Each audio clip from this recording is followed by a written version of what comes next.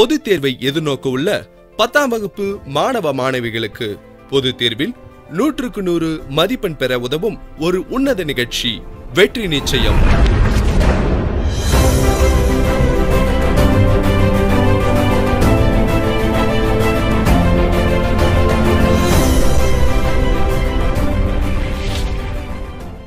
This is M. Nirmala Devi, BT Assistant English, working in GHSS Kanyambadi.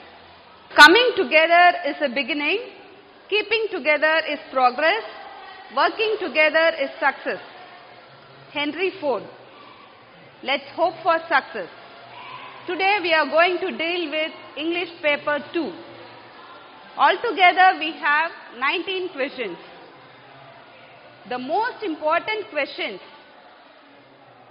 Question number 5, 8, 10, 11, 12, 15, 17, 19.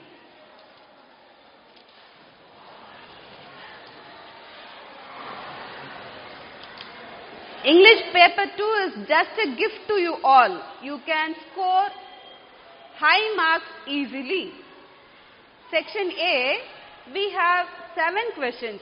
This deals with the supplementary. மொத்தம் ஏழு questions இருக்குது supplementary தொடர்பான questions தான் கொடுத்துருப்பாங்க இதில் நீங்கள் முக்கியமாக கவனிக்க வேண்டியது question number five comprehension read the given passage carefully five questions will be given understand the question. Question word புரிஞ்சுக்கோங்க அந்த கொஷின்ஸ்க்கான ஆன்சர் கொஞ்சம் மைன்யூட்டா பார்த்து நீங்க செலக்ட் பண்ணுங்க the very important part in paper 2 section 2 language functions question number 8 note making and summary writing 5 plus 5 10 marks எல்லா ஸ்டூடெண்ட்ஸுமே இந்த கொஷனில் ஃபுல் 10 மார்க்ஸ் எடுக்கலாம் நோட் மேக்கிங்கில் நீங்கள் என்ன பண்ண போறீங்கன்னா ரீட் த பேசேஜ் ஒரு முறைக்கு ரெண்டு முறை பேசேஜை படிச்சு பாருங்கள் செலக்ட் த டாபிக் டாபிக் எங்க பார்க்கலாம் நீங்க? First of the passage first லைன்ல நீங்க செலக்ட் பண்ணலாம். இல்லனா பேசேஜினுடைய லாஸ்ட் லைன்ல நீங்க பார்க்கலாம். நடு நடுல ஐசன் போடுங்க. நீங்க இதுல ஒமிட் பண்ணக்கூடிய வேர்ட்ஸ் என்னென்ன அப்படின்னா auxiliary words articles linkers preposition unimportant words இது எல்லாத்தையும் தவிர்த்துட்டு முக்கியமான வார்த்தைகள் மட்டும் எடுத்து எழுதி நடுவில் ஐஃபன் போட்டு எழுதுறீங்க டாபிக் கொடுக்குறீங்க. நோட் மேக்கிங் முடிஞ்சது. Next summary writing summary writing passage நல்லா படிங்க மறுபடியும். Rough copy or rough draft அப்படின்னு எழுதலாம். இங்க நீங்க கவனிக்க வேண்டியது ரஃப்ன்ற வேர்டுக்கான ஸ்பெல்லிங் நிறைய பேர் இதுல தப்பு பண்ணுவீங்க. இதை கேர்ஃபுல்லா பார்த்துக்கோங்க next fair copy or fair draft இங்க நீங்க டாபிக் கொடுக்குறீங்க. நோட் மேக்கிங் கொடுத்த டாபிக்கே நீங்க மறுபடியும் சம்மரியில ஃபேர் காப்பிக்கும் கொடுக்கலாம். ஃபேர் காப்பி முடிச்சதுக்கு அப்புறம் வேர்ட்ஸ் கிவன் வேர்ட்ஸ் ரிட்டன் அப்படின்ட்டு நீங்க சிம்பிளா எழுதுனீங்கனாலே போதும். எக்ஸாம்பிள் ஒன் பிப்டி வேர்ட்ஸ் கொடுத்துருக்காங்கன்னா வேர்ட்ஸ் ரிட்டன்ல நீங்க பிப்டி வேர்ட்ஸ் எழுதலாம். Question number nine complete the dialogue fill in the blanks மாதிரி கொடுத்துருப்பாங்க. கொஸ்டின்ஸ் கொடுத்துட்டு ஆன்சர்ஸ் டேஷ்ல வந்திருந்தா என்ன கொஸ்டினோ அதுக்கு ரிலேட்டடான ஆன்சரை எழுதுங்க. சப்போஸ் ஆன்சர்ஸ் கொடுத்துட்டு கொஸ்டின் டேஷ்ல வந்திருந்தா என்ன கேள்வி கேட்டா இந்த ஆன்சர் வரும் அப்படின்றது கொஞ்சம் திங்க் பண்ணி எழுதணும். Example I am going to அப்படின்னு கொடுத்திருந்தா where are you going the fare is வந்து அப்படின்னு வந்திருந்தா what is the fare I want to what do you want it cost rupees fifty how much does it cost my name is what's your name complete the டயலாக்ல கடைசியா மூணு dashes கொடுத்திருந்தாங்கன்னா you can just write thank you welcome ஆன்சர்ல IN கொடுத்திருந்தாங்கன்னா அதை கொஸ்டின்ல வரப்ப நீங்க யூவன் எழுதலாம். ஆன்சர்ல my வந்திருந்ததுன்னா அது கொஸ்டின்ல யுவரா எழுதலாம். ஆன்சர்ல மீன் கொடுத்திருந்தாங்கன்னா கொஸ்டின்ல யூவன்ட்டு எழுதலாம். Question number 10. Write a dialogue. You are going to write the full dialogue by yourself. Very easy question. Suppose யார் யார் பேசுறாங்கன்னு பார்த்துட்டு ஒரு ஃபார்மலான ஒரு டைலாகா இருந்ததுன்னா may I come in sir question mark போட மறக்காதீங்க எஸ் கமின் அடுத்தபடியா good morning good morning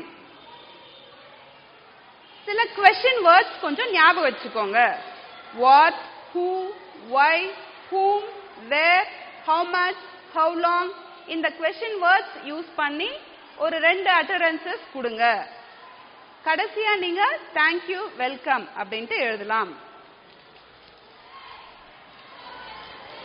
Question number 11, letter writing.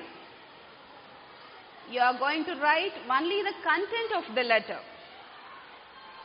Suppose if it is a complaining letter, complaining letter irundal, you can write like this. I am dash, living in dash, I am sorry to inform you dash, please take necessary action. Suppose if it is an order, ordering letter, suppose if it is an ordering letter, you can write like this. Please send me the following items என்னென்ன items list out பண்ணிட்டு எத்தனை வேணும் அப்படின்றதையும் நீங்க அதெல்லாம் note பண்ணலாம் we will send the amount soon அப்படின்னு எழுதலாம் if it is a personal letter you can write like this how are you I am fine I am studying well என்ன கண்டென்ட்டோ அதை அதுக்கு தகுந்த மாதிரி ஒரு ரெண்டு லைன் எழுதிட்டு my greeting to you all meet you soon reply soon இந்த மாதிரியான சென்டென்சஸ் நீங்க எழுதலாம். Next is very important question where you can get the full five marks question number twelve advertisement first இதுல நீங்க எடுத்ததும் ஒரு பாக்ஸ் போட்டுடுறீங்க. கொஸ்டின்ல கொடுத்துக்கிற ஹிண்ட்ஸ் எல்லா ஹிண்ட்ஸையும் அந்த பாக்ஸ்ல உங்களுக்கு எங்க எங்க வேணுமோ அங்கங்க எழுதிடலாம். Picture is necessary very important picture carries one mark அதுக்கு கீழே அட்ரஸ் வந்து நீங்க பாக்ஸ் போட்டு அட்ரஸும் செல் நம்பரும் எழுதலாம். Question number thirteen expand the headlines ஹெட்லைன்ஸ்ல நீங்க கவனிக்க வேண்டியது கொடுத்துக்கிற நியூஸ் எங்க நடந்தது? எப்ப நடந்தது? அப்படின்ற இன்ஃபர்மேஷனை மட்டும் நீங்க ஆட் பண்ணி எழுதிட்டீங்கன்னா போதுமானது. பிரசன்ட் டென்ஸ்ல அதை நீங்க பாஸ்ட் டென்ஸா மாத்தி எழுதுங்க. அப்ரிவேஷன்ஸ் இருந்ததுன்னா you have to expand the abbreviation past டென்ஸ்ல கொடுத்துருந்தாங்கன்னா பாசிவ் வாய்ஸ்ல எழுதுங்க.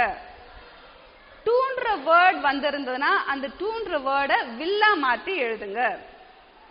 ஆர்டிகல்ஸ் எங்கெங்க நீங்க சேர்க்கணுமோ அங்கெல்லாம் நீங்க சேர்க்கலாம். Question number fourteen pie chart இதுல ஃபைவ் கொஸ்டின்ஸ் கொடுத்துட்டு இருப்பாங்க you have to understand the question மறுபடியும் அதே தான் கொஸ்டின் என்ன கொஸ்டின் வேர்டுன்றத புரிஞ்சுக்கோங்க. கீ வேர்ட்ஸ் என்னென்ன இதுல? Highest more maximum most first இது எல்லாமே அதிகப்படியான இன்ஃபர்மேஷன் எதுல வந்திருக்குன்னு பார்த்து நீங்க ஆன்சர் எழுதலாம். லோயஸ்ட் லீஸ்ட் லெஸ் மினிமம் அப்படின்னு வந்திருந்தா குறைந்தபட்சமான டேட்டாஸ் கொடுத்துருக்கிறத நீங்க ஆன்சரா செலக்ட் பண்ணி எழுதலாம். டோட்டல்னு கேட்டிருந்தாங்கன்னா அது மொத்தமா எவ்வளவு அப்படின்றத நீங்க டோட்டல் பண்ணி எழுதலாம். வாட் இஸ் த டிஃபரன்ஸ் டிஃபரன்ஸ்ன்ற வேர்ட் வந்திருந்ததுன்னா அதற்கு உள்ள வித்தியாசம் எவ்வளவு அப்படின்றத நீங்க எழுதலாம். சேம் ஆர் ஈக்குவலி அப்படின்ற வேர்ட் வந்திருந்ததுன்னா இதற்கு இணையாக எது இருக்குது அப்படின்றத நீங்க பார்த்து எழுதணும். கொஸ்டின் நம்பர் 15 டெவலப்பிங் ஹிண்ட்ஸ் கொடுத்திருக்கிற ஹிண்ட்ஸ் படிச்சு பார்த்துட்டு you have to select topic topic எழுதுறீங்க டூ ஆர் த்ரீ பேராகிராஃப்ஸ் எழுதுறீங்க.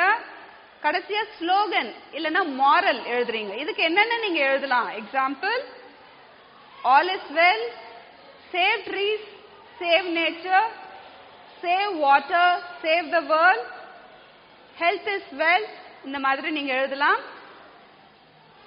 கொடுத்திருக்கிற ஹிண்ட் ஸ்டோரியா இருந்தால் you can write in the past tense ஒரு ஜெனரல் பேசேஜஸாக இருந்தா நீங்க சிம்பிள் பிரசன்ட் யூஸ் பண்ணி எழுதலாம். Question number sixteen products and slogans question number seventeen road map இதுல நீங்க ஈஸியான சென்டென்சஸ் எழுதுனீங்கன்னா ஃபுல் ஃபைவ் மார்க்ஸ் எடுக்கலாம். யூ ஆர் ஹியர் அப்படின்ற கொடுத்துருக்கிற ஹிண்ட் எங்க இருக்குன்னு பார்த்து அதுக்கு தகுந்த மாதிரியான டைரக்ஷன்ஸ் கொடுங்க. Example step down the road turn right or turn left டேர்ன்ன்ற வேர்டுக்கும் நீங்க ஸ்பெல்லிங் கொஞ்சம் கேர்ஃபுல்லா பாருங்க. Go straight walk pass the road cross the road it is opposite to it is next to you will fine இந்த மாதிரியான வாக்கியங்களை நீங்க எழுதி ஃபுல் மார்க் எடுக்கலாம். Question number 18 paraphrasing a poem. You have to read the given poem. Poem நல்லா படிச்சு பாருங்க. Fill in the blanks மாதிரி கொடுத்திருப்பாங்க. Questions? கொஸ்டின்ல என்ன வேர்ட் வந்திருக்கோ அந்த போயம்ல எங்க வந்திருக்கு அந்த லைன் அப்படின்றத பார்த்து நீங்க ஆன்சர் எழுதலாம். Question number nineteen very important question where you can get the full five marks ரெண்டு சாய்ஸ் கொடுத்துருப்பாங்க. One is translation and another is expressing your ideas about the picture. My advice to you all is you can select the second option.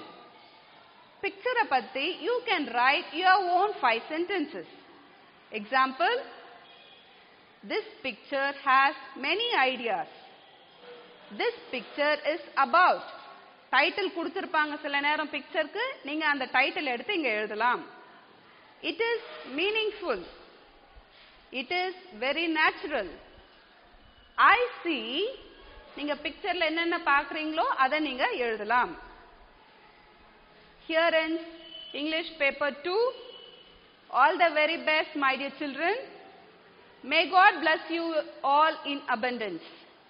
Do your best, and God will do the rest. Be happy and spread happiness. All the very best. Thank you.